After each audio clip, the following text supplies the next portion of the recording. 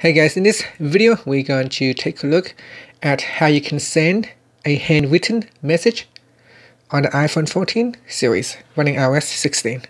First let's go back to the home screen by swiping up at the bottom of the screen. On the home screen, open up the text messages app. Then tap on a text conversation or you can compose a new text message.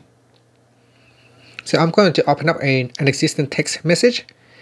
And then in here, what you want to do is turn your iPhone sideways in landscape mode. Once you're in landscape mode, on the keyboard there is a handwritten symbol. You tap on that and this will show you a blank canvas. In here you can write your own text message.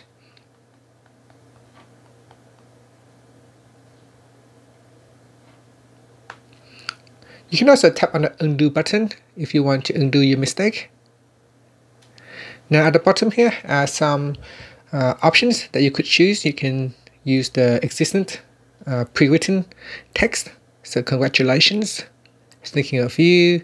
If you install another language, then you have some additional uh, different uh, writing in different language that you could use.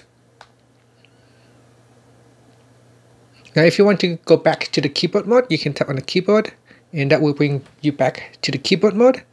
Otherwise, you can go into handwritten mode by tapping on that symbol right there. And then select a text.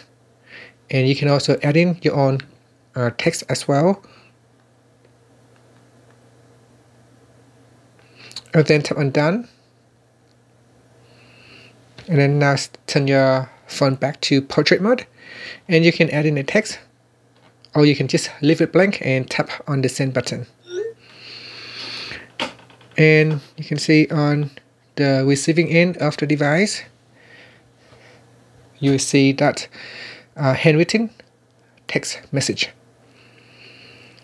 And that's it. That is how you can a handwritten text message on the iPhone 14 series. Thank you for watching this video. Please subscribe to my channel for more videos